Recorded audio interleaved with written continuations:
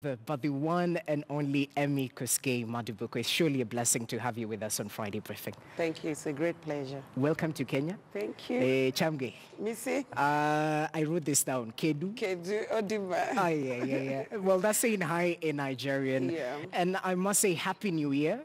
Uh, it's been a pleasure to actually listen to your songs as we grew up, as I personally grew up. I mean, let's begin with your evangelism through music. I mean, your music is more than language. You get to um, preach the message to so many people, irrespective of the language you're actually using right now. Tell me about this. What does it mean to you breaking barriers, you know, in terms of language, in terms of tribe as well? Yeah. It's uh, a very humbling experience to know that uh, amongst so many people, God found me worthy to be used for this powerful because to reach out to human beings, to touch souls of men with the word of God. As you said, music is not just a sound, but it's also the power of God. And it, the power behind the music is actually the spirit of the song. Yeah. And it has been very, very humbling experience doing vernacular music Yes. and seeing people who don't understand my songs being transformed, being saved, being healed, being, um, you know, inspired by my music. One, to love God. Two, to trust God. Three, is to give their lives to Jesus. Fourth, is to just love their neighbors All right. to break the ethnical barriers because of our ethnicity and languages and to understand music is just a sound. It's a sound and it has brought so many people together from different, you know, walks of life. So I'm so humbled. That's amazing. Yes, and I'm grateful. It has been a journey. When did you start music? Wow, I started. I'm a pastor's kid. Uh, yes. So I started music when I was young, but you know, growing with it in church, Uh-huh. in Sunday school, you know, choir. I've, I've been in praise and worship team for all my life, but doing, uh, you know, recording, you know, professionally is about 15 years ago. 15 yes. years ago. Let me take you back to your first album launch. Yeah. We well know that God works in mysterious ways. Mm. And I mean, if it's yours, it's yours. You know, um, tell me how Paul Tergat actually played an instrumental role in that particular launch. You know, I, I wrote a story on Facebook, uh-huh. and many people were blown away. One, I, I was moved by so many artists that are going through a lot of stuff.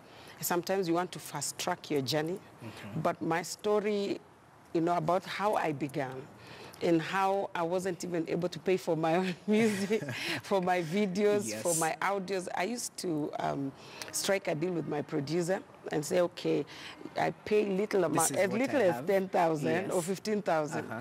and then record the songs. And then when we are releasing or launching it, the money I'll get from sales, I pay for the video Okay. because I didn't have any money. Yes. And this particular incident, I was launching Taunet. It was my first concert in Nairobi. And I remember I didn't have money. I had paid everything, and I was owing my producer 50,000. Oh my. Can you imagine? So I, I was so scared. I didn't know what to do. I've already advertised, and this was on a Saturday. The posters are out. The posters are out. Uh-huh. I'm already hyping. Everybody's thinking the first Kalenjin, you know, music lounge in Nairobi. Yes. So on Saturday, on Friday actually afternoon is when I call my producer and he says, you know what? If you don't pay all the amounts, you can't have the master.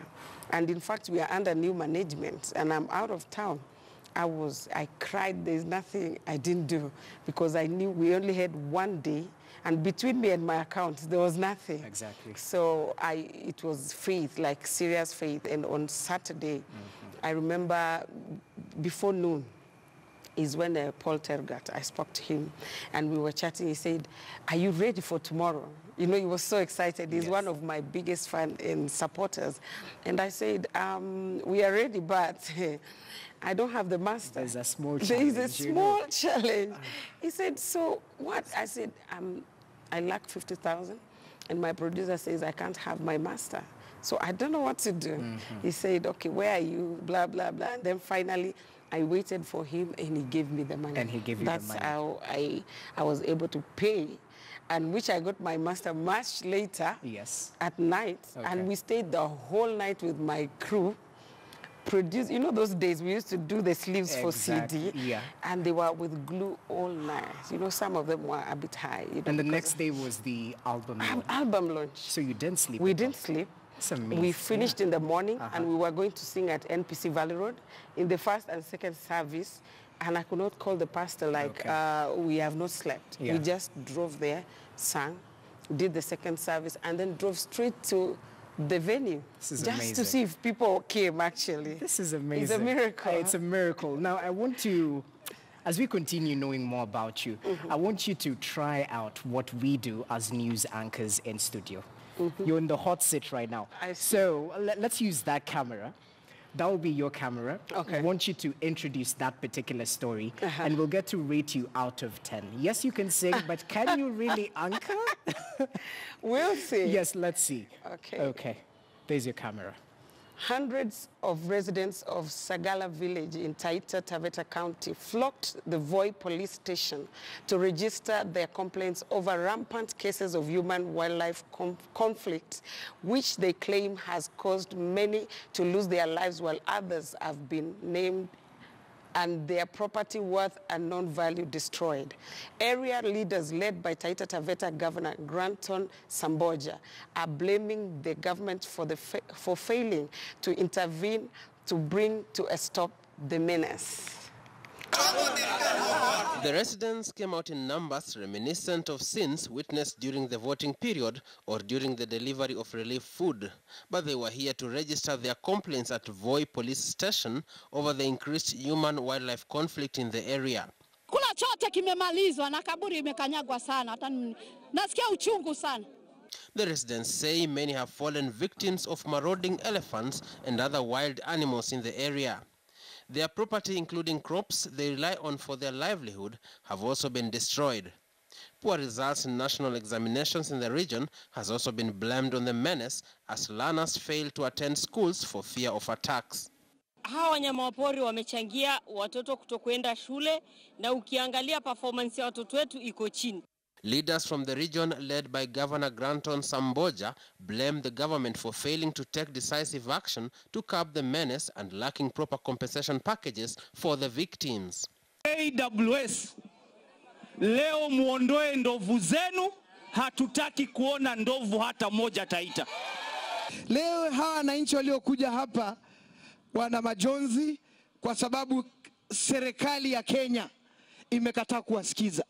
Kama wameshindwa ku, kulinda national park zetu, tukatie mashamba yetu ya Taita, tuingie ndani tulime pale. The irate residents now want all the animals that have been causing them sleepless nights to be restrained.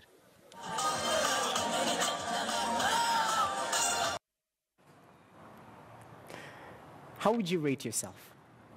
On a scale of 1 to 10? Um, eight.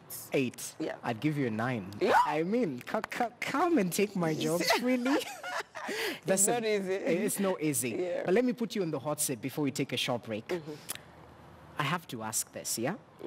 Between fufu and plantain, you know, the Nigerian kind of staple food, and deremek and mursik, which one would you choose? Choose wisely.